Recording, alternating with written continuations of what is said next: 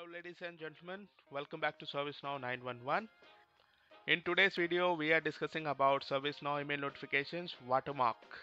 So let me show you first of all what is a watermark in email notification.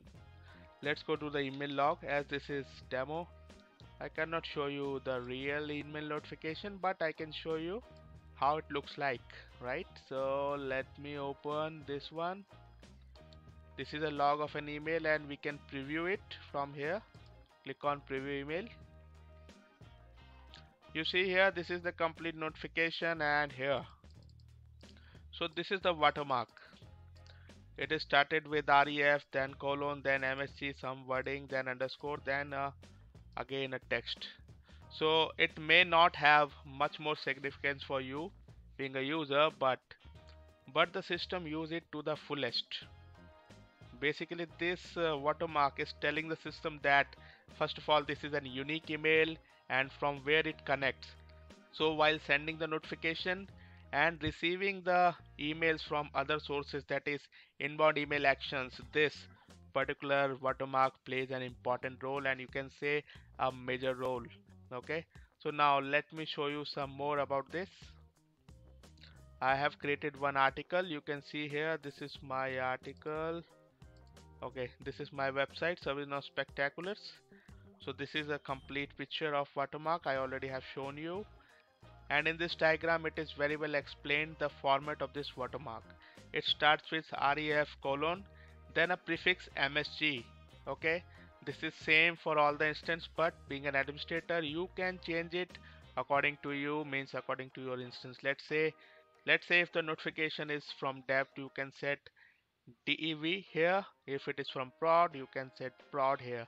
So from where you can do that? You can do it easily in the number maintenance. Let me show you. Under number maintenance click on it. You see here this is msg okay this is email watermark. So you can change the prefix here. After that we have this automated generate identifiers. This is of 7 digit okay this will help the system to identify the target record. And then we have underscore and a 20 character string. This is a random created string. The second thing is you have the option to omit the watermark. In case if you don't want to show the notification watermark on your email, you just need to go to that notification and you can turn it off from there. Open any of the notification.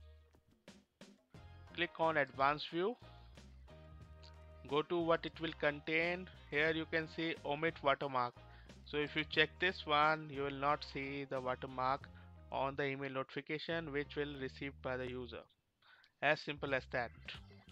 The last option is completely omit or hide watermark globally. So in order to do that you just need to go to the properties and create this property. Glide.email.watermark.visible if it is not there and set it to false Thereafter, you will not see a watermark on the notification. And remember, this is only for the email notifications, that is the HTML messages. But in case of text messages which you are receiving on the cell phone, this is not applicable. So I hope you understand this uh, watermark concept thoroughly. If you have any doubts, let us know in the comment sections. And in order to get more detail, you can go to this link and read it by yourself. I'll post the link in the description of the video. See you next video. Till then, thank you so much. Bye bye.